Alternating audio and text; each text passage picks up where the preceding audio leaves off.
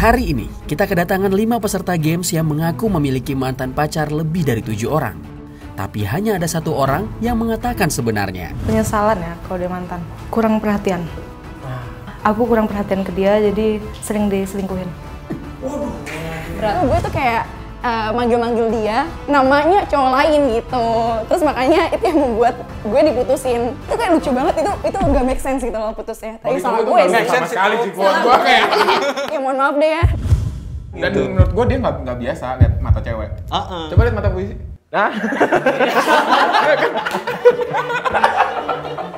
coba lihat. Tiga detik ya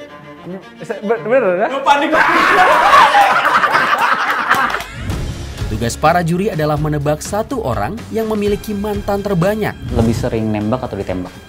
Kalau gue pribadi sih lebih prefer nembak ya. Karena kan pada hakikatnya sperma itu mencari sel telur.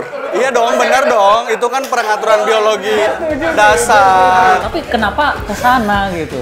Gue bisa menggunakan banyak hal. Selamat datang di IMSO Game Show.